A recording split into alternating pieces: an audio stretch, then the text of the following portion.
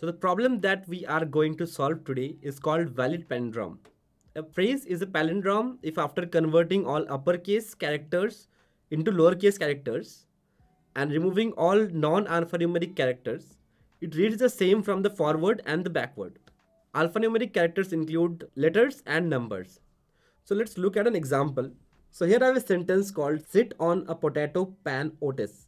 And if we remove all the spaces and non-alphanumeric characters that is comma and exclamation mark from it, the sentence will be sit on a potato pan Otis. And if you look from the backwards, okay, you'll notice that it is a palindrome. Sit on a potato pan Otis. Okay, so it is a palindrome the same from the backwards and the front okay? So let us see how to solve this problem. So the very basic solution that i can think of is i can just take a new string. Let me call that as new s. And i will keep on adding the character to the string. If it is an alphanumeric character and if it is not such as space and comma i will not add that to this string. And finally while returning I can check whether the new s from the forward and new s from the backward is equal or not and that is the very basic thing we can do. So let us try to solve this on LeetCode. Make sure you have selected the Python 3 interpreter. The first thing we will do is we'll define a new string, an empty string and we'll run a loop over the sentence. We'll check if i dot is alnum this alnum basically checks if the character or the string is alphanumeric or not. Append this i to the new string. So we have got the new string without alphanumeric character. But one more thing we have to do is we have to convert this characters into lower. So let us do it here itself. So we'll add the alphanumeric characters and convert them into lowercase. Okay. So now we have got this sit on a potato pan Otis. So now what we have to do is we have to check this from the reverse and the front. So we'll do is return new s equals equals new s colon colon minus 1 this thing will reverse the string. It will show the string from opposite direction and it will take the string from the forward direction. We are checking if they are equal it will return true. If they are not equal it will return false. Let's try to run this. We are getting pass in all the cases. We have passed the cases and let us submit this and let's see Cool, we have passed all the test cases here and the time complexity and the space complexity for this problem will be, let me just go to this. Time complexity will be big O of n, this is the time complexity and the space is also big O of n. Why?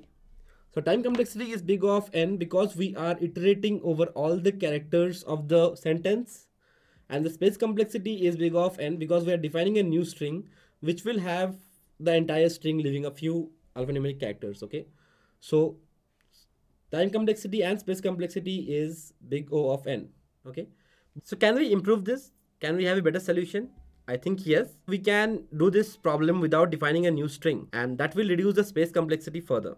How to do that?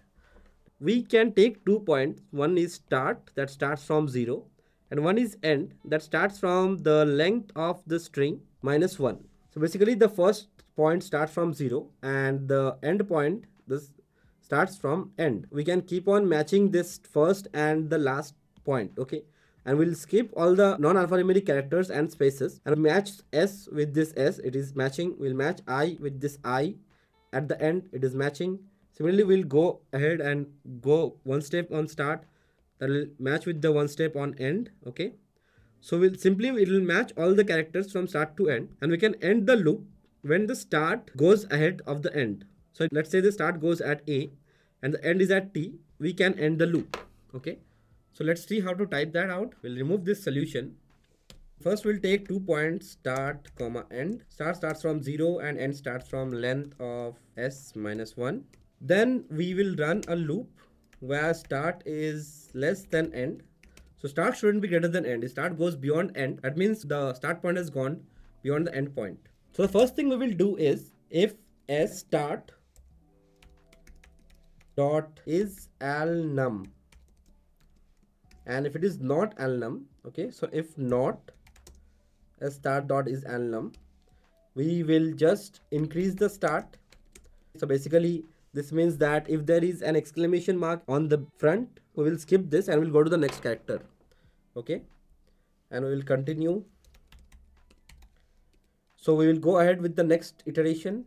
Then we will check if not s end dot is alnum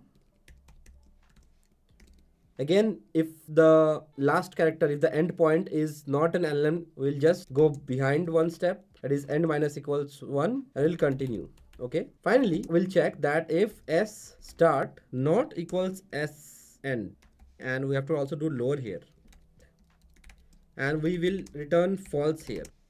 So we are checking if the start point dot lower is not equals to end point dot lower. So basically that means here we have s and s let us imagine we had s here and a here. Very first character could be s and the last character could be a. So if that was the case so we will just check if they are not equals we will directly return false okay? Finally we will increase the start once the check is done and if the characters are equal we will not enter the condition and we'll just increase the start point and decrease the end point one step. That means the point at where the start lies and the point at the end lies are equal. So i'll increase the start by one and decrease the end by 1. Finally, our loop is done. At the very end, if the loop has not returned false, we'll return true. Let's see if this runs correctly. Okay, great. It runs correctly on the sample test cases. Let's try to submit this. Cool, it runs on the test cases too, okay? And the time complexity for this is again big O of n. Let me just go back to the whiteboard. The time complexity of this solution is big O of n but the space complexity here is constant okay? Just because we have not defined any extra arrays or any strings we have just taken two constant variables. The space complexity is constant and time complexity is big of n. Although we could say that the time complexity is n by 2 which equals to n because we are running the loop half the time. This method of taking two points start and end is known as two pointer method okay two pointer method. That was the solution of the problem valid palindrome. If you have any better solution, you can post that in the comments. And also if you have any questions regarding this solution, please post that in the comments. More LeetCode problems are coming soon. Please stay tuned and follow Jovian.